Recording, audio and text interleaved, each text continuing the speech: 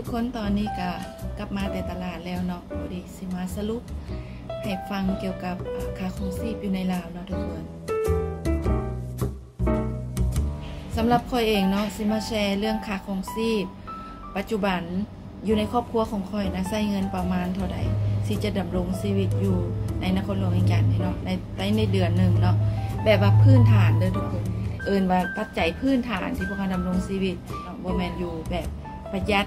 เอาแท้ว่าเนาะลูกแล้วบ่ได้อยู่แบบกินรูอยู่แพงเนาะอยู่แบบธรรมดา แต่ว่าสบายๆเนาะชิลๆสบายๆเลยเนาะก็เลยจะมาแชร์ให้ทุกคนเนาะเพื่อจะได้มีไอเดียว่าหลายคนก็อาจจะเออวางแผนมาอยู่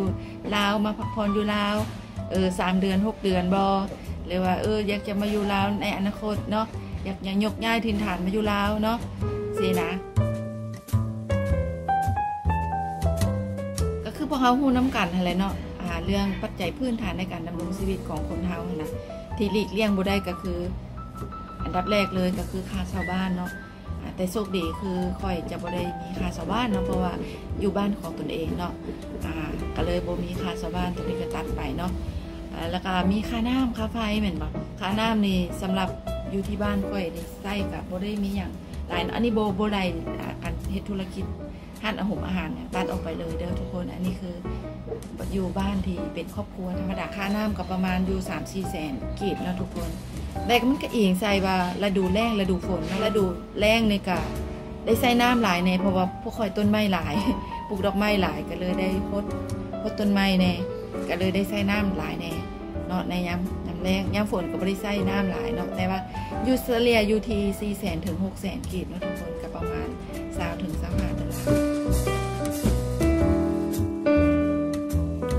ค่าไฟฟ้าก็คือกันเนาะอยู่อยู่เมืองลาวเขามันก็เองใส่ว่าฤดูหนาวกับฤดูร้อนคือกันเนาะยามร้อนนี่นะยามปีใหม่ลาวยามร้อนนี่ก็ร้อนตับแตกทุกคนก็ต้องได้ใส่แอร์เนาะเปิดแอร์ตลอดเวลาเลยอ่าอันนี้เขาก็ค่าไฟเขามันก็จะขึ้นสูงขึ้นเนาะในยามยามร้อน แต่ว่ายามหนาวนี่เขาก็บ่ได้ใส่แอร์หลายเนาะแต่ว่าเฉลี่ยแล้วล่ะอยู่ที่ประมาณล้าน8แสนถึง2ล้านกีบต่อเดือนเนาะก็ อยู่คันไล่เป็นเงินดอลลาร์แล้วก็บ่เกินอันนะบ่เกิน100ดอลลาร์นะทุกคนประมาณ85ดอลลาร์ถึง100ดอลลาร์แล้วก็บัดนี้ค่าอินเทอร์เน็ตค่าอินเทอร์เน็ตนี่พวกเขาก็จะจ่ายเป็นเป็นปี ปีหนึ่งก็อยู่ที่ประมาณ180ดอลลาร์ต่อปีเนาะแต่ว่าขั้นไล่เป็นเดือนแล้วก็ประมาณอยู่ที่15ดอลลาร์ต่อเดือนเนาะทุกคนสำหรับอินเทอร์เน็ตเนาะอ่าก็ประมาณนั้น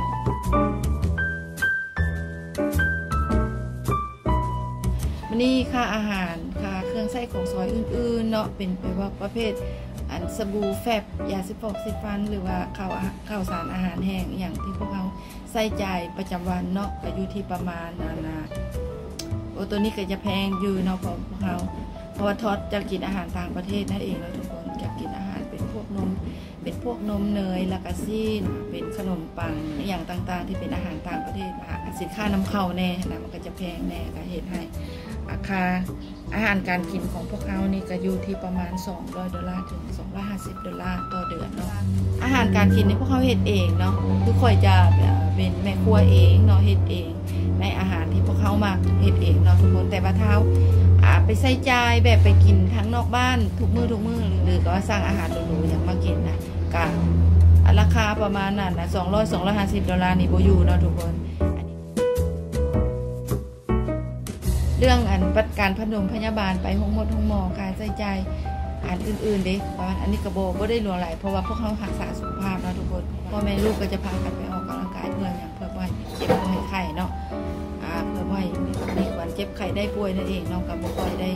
มีค่าใช้จ่ายอย่างไรแต่ว่าถ้าว่าเจ็บเป็นเนาะไปห้องหมอ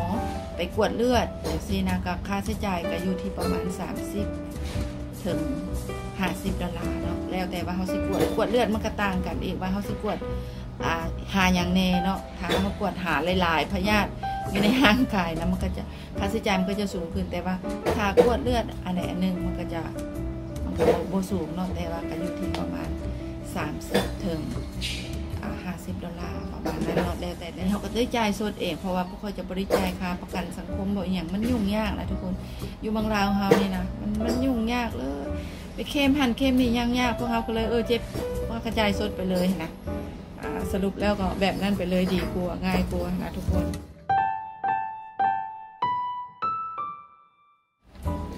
โอเคทุกคนล่ะสำหรับอ่านค่าใช้จ่ายเรื่องการออกกำลังกายพวกเขาเนาะพวกเขานี่จะจะจ่ายเป็นเป็นมือไปเลยเพราะว่าอย่างเพราะพวกเขา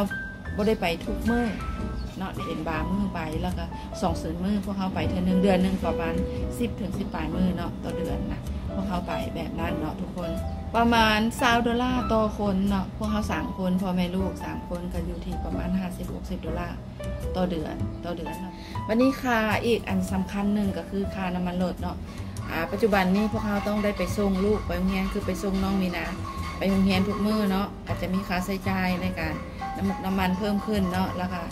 ได้พาน้องมีนานี่ไปกินข้าวนอกบ้านบอหรือไปเบิ่งหันเบิ่งนี่เนาะเพราะว่าไปออกกำลังกายไปร้อยน้ำไปโน่นนี่นั่นอยู่อ้อมแอมนครหลวงนี่แหละค่าน้ำมันรถประมาณเดือนหนึ่งพวกเขาก็จะใช้อยู่ประมาณร้อยหนึ่งถึงร้อยห้าสิบดอลลาร์ต่อเดือนเนาะเออบ่แต่ว่าโบโบโบได้นับที่ว่าพวกเขาไปท่องเที่ยว เนาะไปเที่ยวตามแขวงบอหรือว่าไปเที่ยวท่องเที่ยวสถานที่ต่างๆนะโบนับเด้อทุกคนเนาะแต่ถ้าพวกเขาไปตามแขวงไปนอกเมืองหรือไปอ่าไปท่องเที่ยวอย่างต่างๆ จะต่างหากเนาะทุกคนอันนี้จะไล่ต่างหากเนาะอ่าสรุปแล้วเนาะอันนี้ก็เป็นค่าใช้จ่ายแล้วบทบทท่านได้นับดีว่าอ่า ทำบุญสินกินทานเนาะทุกคนเพราะว่ามันอยู่ลาวเฮานี่กับบุญสินกินทานมาทุกมือทุกเดือนเนาะคนเจ็บคนเป็นคนตายต้องได้ช่วยกันเนาะพี่น้องเจ็บเป็นเอ็นอุ่นล่มหายตายจากพวกเราก็ต้องได้ไปเนาะทำบุญสินกินทานเฮือนบุญเฮือนดีเนาะอย่างต่างๆ วัดวาเฮ็ดบุญกับกองกระถินบุญโน่นนี่นั่นเนาะ เฮ็ดกระถอกกระถินบ่อหย่างเขาก็ต้องได้ประกอบส่วนเนาะนำบ้านนำเมืองหั้นนะคือก็ประกอบส่วนก็ประมาณ5 0 0 0 0 0 1 1ล้านกีบเนาะต่อครั้งเนาะเฉพาะเป็นงานบุญใหญ่ต่างๆของบ้านเนาะเป็นว่าซัพพอร์ตหรือว่าเป็นอุปถัมภ์นะอันนี้ก็แล้วแต่เนาะการทำบุญนี่แล้วแต่ บางคนก็ให้เอ่อ10,000 20,000สี่ห้าสิบบางคนก็ให้แสนสองแสนแล้วแต่ แล้วแต่จิตใจใส่ศรัทธาของไปของมันแต่ว่าสำหรับคอยเองนี่ก็อยู่ที่ประมาณห้าแสนอัพเนาะห้าแสนถึงหนึ่งล้านแล้วแต่ว่างานนั้นงานน้อยงานใหญ่ซ้ำใดหมู่คู่คือกันเนาะเขาก็เบิ่งว่าใกล้ชิดบ่ใกล้ชิดซ้ำใดขี่ไล่เขาก็ได้ให้ประมาณอยู่สองสามแสนนี่ถือว่าต่ำสุดละมาสั้นๆห้าแสนถึงหนึ่งล้านขีดเนาะ เงินเฟ้อเรื่องค่าครองชีพอยู่ในลาวเฮาเนาะในปัจจุบันนี้นะทุกคนเฉพาะเงินเฟ้อนี่มันก็กระทบกับประชาชนแต่ละกลุ่มบ่เท่ากัน เงินเฟ้อนี่มันจะเฮ็ดให้สังคม มีความเหลื่อมล้ำทุกคนเฮ็ดให้คนถูกขนนะคนผู้ใช้แรงงานคนถูกคนหากยากขนนะยิ่งถูกเข้าไปใหญ่เลยเนาะทุกคน แต่คนที่อยู่ในระดับกลางๆหรือคนร่ำรวยหั้นนะที่มีรายรับเป็นเงินดอลลาร์เป็นเงินบาทต่างประเทศนะก็จะรวยเพิ่มขึ้น ตัวเลขเงินเปิดทางการในปัจจุบันนี้เนาะอิงตามศูนย์สถิติแห่งชาติเงินเฟ้อเฉลี่ยทั้งหมดนะอยู่ที่25.83%เนาะอันนี้คืออัตราเงินเฟ้อเฉลี่ยเด้อทุกคนอาจจะต่ำกว่าที่เราประเมินกันโดยทั่วไปเนาะทุกคน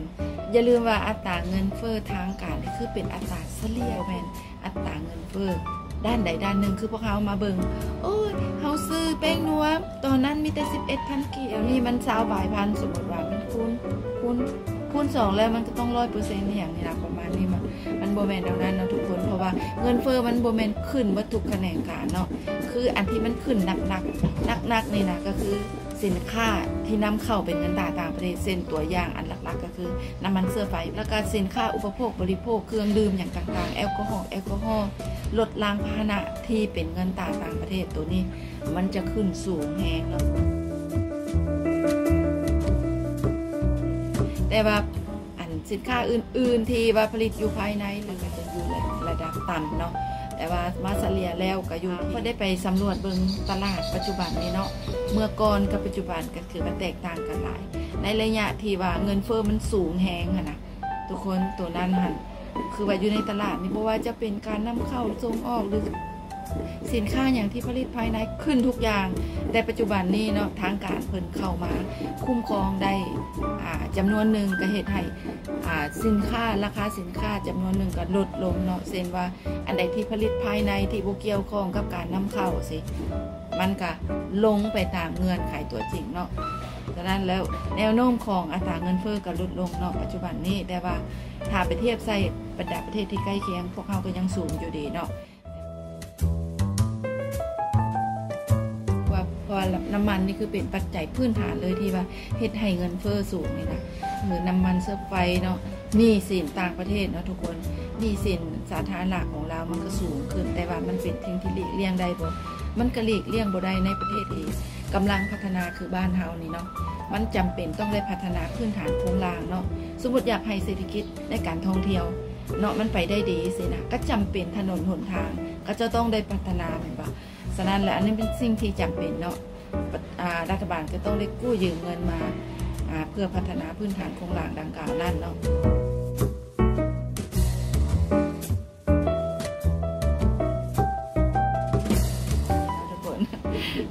โอเค อันนี้ก็เป็นสาระสำคัญในมือนี้อยากจะแชร์นำมูคูญาติพี่น้องที่อยู่ทางต่างประเทศเนาะได้ได้หู้ได้เห็นนำกัน การใช้จ่ายในชีวิตประจำวันปัจจุบันนี้เนาะ กับประมาณนี้แหละทุกคนค่ะประมาณ 550 อัพขึ้นไป 600 700 800แล้วแต่แต่ละเดือนที่เจ้าจะใส่น้อยใส่หลายแล้วแต่เจ้าความประหยัดมัธยัติของเจ้าซ้ำใดเนาะฟุ่มเฟือยฟุ่มเฟือยบ่หรือว่าอยู่แบบธรรมดานี่คือคอยแชร์นี่อยู่ระดับธรรมดาธรรมดาบ่ลำบากเนาะแล้วก็บ่ได้กินหรูอยู่ดีเกินไป แล้วก็บ่ได้ลำบากนะก็อยู่ประมาณนี้เด้อ ผู้ใดเนาะที่ว่าบางแผนอยากจะมาพักพรอยู่ลาวเนาะมากินเบี้ยบำนาญพักพรอยู่ลาวก็จะได้มีอันนะวางแผนกันได้อย่างถูกต้องเนาะทุกคน คือค่อยนี่ค่อยไล่อยู่แบบพื้นฐานที่สุดนะอยู่ที่เป็นห้าหกร้อยดอลลาร์นี่คือบ่มีค่าเสาบ้านเด้อบ่มีค่าเสาบ้านบ่มีค่าผ่อนรถผ่อนบ้านผ่อนหยังเนาะหลายคนมีค่าผ่อนโน่นนี่นั่นก็จะจะจะจะต่างกันออกไปอีกเนาะ อันนี้คอยจะบ่มีหนี้สินบ่มีค่าผ่อนบ้านผ่อนรถมีหยังเนาะอ่าก็อยู่อยู่ประมาณนี้เนาะผู้ใดที่ว่ามาแล้วต้องได้เสาบ้านอยู่ก็ต้องไล่ค่าเสาบ้านค่าเสาบ้านก็จะอยู่อยู่ที่ห้องแถวธรรมดาบ่หรืออยู่อพาร์ตเมนต์เนาะหรือซียูเป็นเฮือนเป็นหลังเลยสินก็แตกต่างกันไปเนาะทุกคน ราคาก็อยู่ที่ล้านสองล้านเนาะก็อยู่แบบธรรมดาเนาะแบบกรรมกรทั่วไปแต่ว่าขั้นอพาร์ตเมนต์เนี่ยก็อยู่ที่ล้านสองร้อยดอลลาร์ก็อยู่อพาร์ตเมนต์ก็น่าจะได้ละ แต่ว่าถ้าอยู่บ้านเป็นหลังก็จะมีราคาตั้งแต่ห้าร้อย up ขึ้นไปเนาะถ้าว่าแบบอยู่แบบแบบหรูหราเลยเนาะเป็นเฮือนบ้านหลังใหญ่ สิ่งอำนวยความสะดวกครบวงจรเลยก็จะอีกแบบนึงเนาะทุกคนเจ้าเซ่าบ้านอยู่ที่ 200เจ้าก็ต้องเป็น 800ดอลลาร์ต่อเดือน ถ้าว่าค่าเซ่าบ้านเจ้าอยู่ที่ 500 เจ้าก็ต้องบวกขึ้นไปอีกประมาณ 1,000 ถึง 1,100 1,200 ดอลลาร์ต่อเดือน เจ้าก็อยู่แบบสบายๆอยู่เมืองลาวแล้วเนาะอันนี้ต่อเดือนเด้อทุกคนบ่แมนต่ออาทิตย์เด้อคือต่อเดือนคันถ้าเป็นไรเป็นอาทิตย์ก็คือ 600 ดอลลาร์ต่อเดือนนี่ก็อยู่ที่150 ดอลลาร์เนาะต่ออาทิตย์เนาะทุกคนก็อยู่ได้แบบสบายๆเนาะแต่ว่าถ้า800 ดอลลาร์ต่อเดือนเนาะถ้าจะมีค่าเช่าบ้านค่าเช่าอพาร์ตเมนต์ตึงเนาะ800 ดอลลาร์ต่อเดือนก็ถึงอยู่ 200 ดอลลาร์ต่ออาทิตย์เนาะทุกคนราคาถ้าว่าเจ้าเช่าเฮือนเป็นหลังเนาะ ก็จะตกอยู่ประมาณพันถึงพันสองร้อยดอลลาร์ต่อเดือนนี่นะจะตกอยู่ประมาณ300 300หรือ400ดอลลาร์ต่ออาทิตย์ ก็แล้วแต่เนาะแล้วแต่ว่าอยากอยู่อยากใช้ชีวิตแบบไหนแบบระดับต่ำระดับกลางหรือระดับสูงกันแล้วแต่จะเลือกกันเนาะทุกคน